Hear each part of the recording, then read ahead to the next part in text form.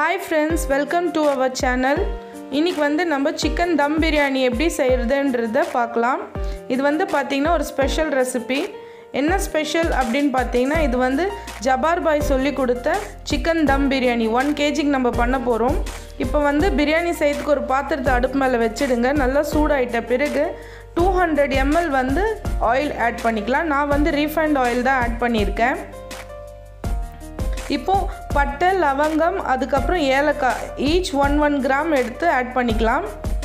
அதுக்கப்புறம் four hundred grams onion cut பண்ணி வச்சுருக்கேன். அதுவும் ஆட் பண்ணிடுறேன். இது நல்லா ப்ரௌன் ஆகிற அளவுக்கு நம்ம இதை ஃப்ரை பண்ணிக்கணும்.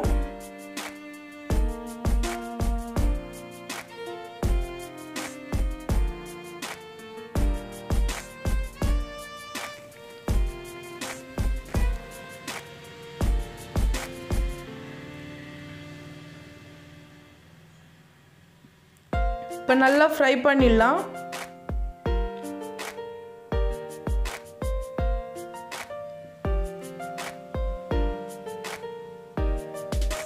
இப்போ பார்த்தீங்கன்னா நல்லா ஃப்ரை ஆகிடுச்சு நல்லா கோல்டன் ப்ரௌன் ஆகிடுச்சு இந்த ஸ்டேஜில் வந்து புதினாவும் கொத்தமல்லியும் ஆட் பண்ணிக்கிறேன். இது வந்து பார்த்திங்கன்னா ஒரு டென் ருபீஸ் கட்டு வாங்கினீங்கன்னா அதில் இருக்கிற புதினா கொத்தமல்லி தான் இப்போ நான் க்ளீன் பண்ணி இதில் யூஸ் பண்ணியிருக்கேன். அந்த அளவுக்கு தான் இதில் யூஸ் பண்ணணும் ஒன் கேஜிக்கு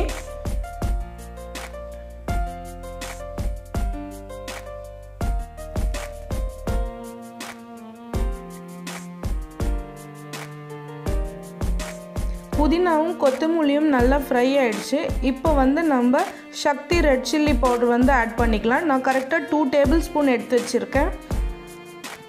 அதுதான் இப்போ நான் ஆட் பண்ணுறேன்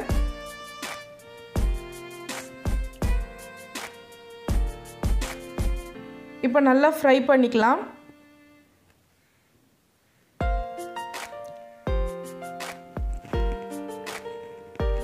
இப்போ நல்லா ஃப்ரை ஆகிட்ட பிறகு நம்ம இஞ்சி பூண்டு பேஸ்ட் ஆட் பண்ணிக்கலாம். இதில் வந்து இஞ்சி வந்து பார்த்திங்கன்னா ஹண்ட்ரட் கிராம்ஸ் எடுத்திருக்கேன். பூண்டு ஃபிஃப்டி கிராம்ஸ் ரெண்டும் சேர்த்து பேஸ்ட் பண்ணியிருக்கேன். அதை தான் இப்போ ஆட் பண்ணியிருக்கேன். இதையும் இந்த மசாலாவில் போட்டு நல்லா ஃப்ரை பண்ணிடலாம். பாருங்கள் இந்த ரெட் சில்லி கலர் வந்து பவுடரோட கலர் என்ன டார்க்காக வந்திருக்கு மசாலாவில் இப்போ நல்லா ஃப்ரை ஆயிடுச்சு. இப்போ வந்து நம்ம தயிர் ஆட் பண்ணிக்கலாம். தயிர் பார்த்தீங்கன்னா டூ ஹண்ட்ரட் எம்எல் ஆட் பண்ணணும். அதையும் நான் மெஷர் பண்ணி ஆட் பண்ணிட்டேன்.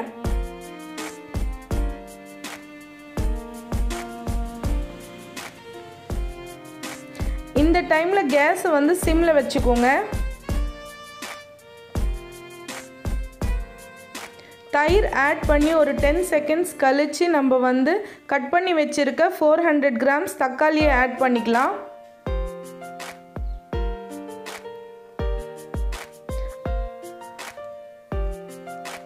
அதுக்கப்புறம் த்ரீ க்ரீன் சில்லியும் ஆட் பண்ணிக்கலாம். இப்போ இந்த மசாலாவை நல்லா ஃப்ரை பண்ணலாம்.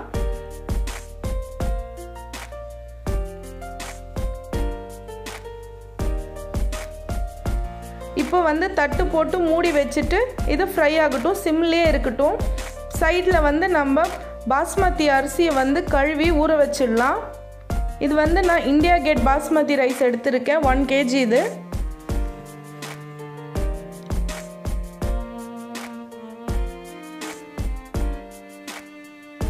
ஒரே டைம் தண்ணி ஊற்றி நல்லா ரொம்ப பெசையாமல் மெல்லமாக அதை லேசாக கலக்கி வாஷ் பண்ணி வச்சுக்கோங்க.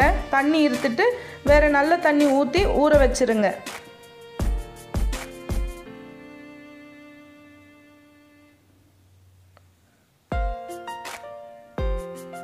இப்போ நம்ம மசாலா வந்து பார்த்திங்கன்னா நல்லா ஃப்ரை ஆயிடுச்சு. ஆயிலெல்லாம் மேலே வந்துடுச்சு. இப்போ மசாலாலாம் நல்லா ஃப்ரை ஆகிட்டு இருக்கு இப்போ வந்து நம்ம சால்ட் ஆட் பண்ணிக்கலாம். சால்ட் வந்து டூ டேபிள் ஸ்பூன் ஆட் பண்ணியிருக்கேன்.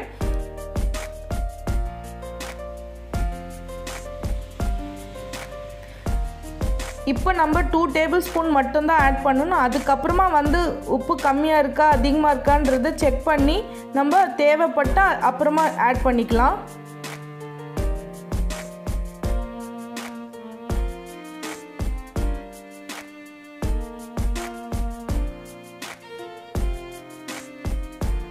இப்போ வந்து நம்ம தண்ணி ஆட் பண்ண போகிறோம் இப்போ ஒன் கேஜி நம்ம ரைஸ்க்கு வந்து கரெக்டாக one litre three hundred ml வந்து தண்ணி ஆட் பண்ணணும்.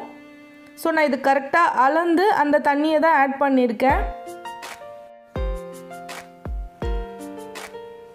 இப்போ நம்ம லேசாக அதை கலந்து விட்டுட்டு தட்டு போட்டு மூடி வச்சிடலாம்.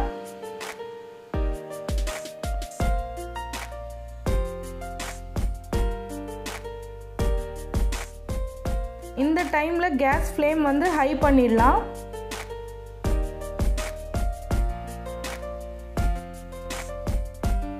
இப்போ பாருங்கள் நல்லா கொதிச்சிடுச்சு. இப்போ இந்த டைமில் வந்து நம்ம சிக்கன் ஆட் பண்ணிடலாம்.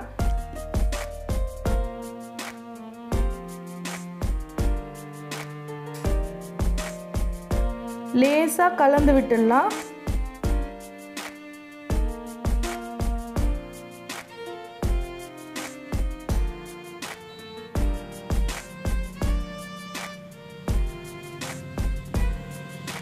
இப்போ ஒரு ஃபைவ் மினிட்ஸ்க்கு தட்டு போட்டு மூடி வச்சுட்டு இது கொதிக்கட்டும்.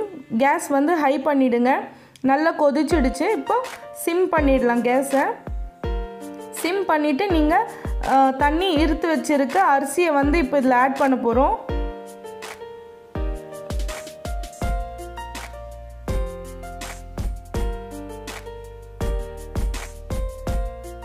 அதுக்கு முன்னாடி லேசாக கலந்து விட்டுடுங்க.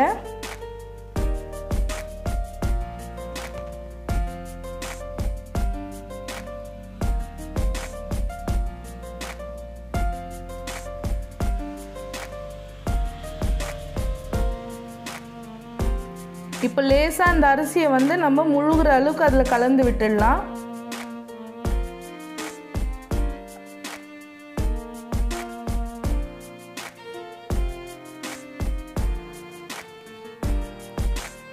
இப்போ நடுவு பக்கத்தில் கொஞ்சம் லேசாக கலந்துட்டு அரிசி ஒடையாமல் கலக்கி விடுங்க.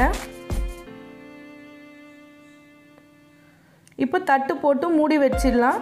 இப்போ ஒரு ஃபைவ் மினிட்ஸ்க்கு கேஸ் ஃப்ளேம் வந்து ஹையில் இருக்கட்டும். இப்போ நல்லா இந்த மாதிரி கொதி வரும்போது சிம் பண்ணிடுங்க. தண்ணியும் ரைஸும் லெவலாக இருக்கிற ஸ்டேஜில் சிம் பண்ணி நம்ம தட்டு போட்டு மூடி தம் பண்ணிடலாம்.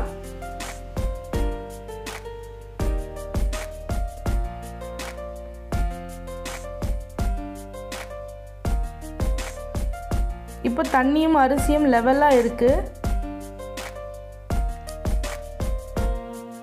இப்போ வந்து நான் தட்டு போட்டு மூடிட்டேன். சிம்மில் ஒரு கரெக்டாக பார்த்தீங்கன்னா ஃபிஃப்டீன் மினிட்ஸ் ஆச்சு எனக்கு. தம் ஆகிறதுக்கு.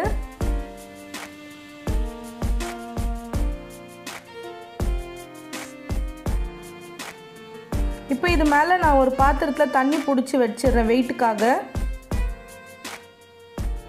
இப்போ கரெக்டாக ஃபிஃப்டீன் மினிட்ஸ் கழித்து பார்த்தோம்னா ரைஸ் கரெக்டாக வெந்து இருந்தது இப்போ இதை உடையாமல் சைடில் லேசாக கலந்துக்கலாம்.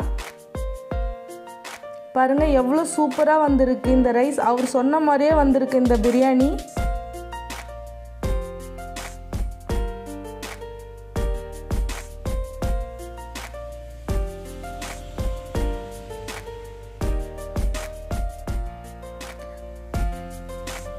பார்த்திங்கன்னா இப்போ நம்ம சிக்கன் தம் பிரியாணி வந்து ரெடி ஆயிடுச்சு.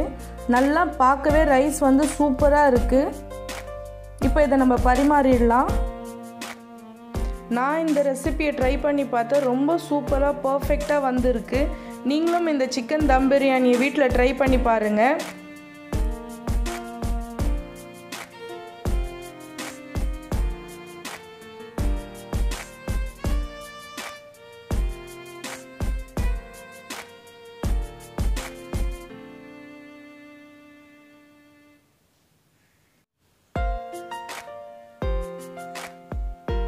ஸோ ஃப்ரெண்ட்ஸ் இந்த வீடியோ உங்களுக்கு பிடிச்சிருந்ததுன்னா கண்டிப்பாக என்னோடய சேனலை சப்ஸ்கிரைப் பண்ணிக்கோங்க.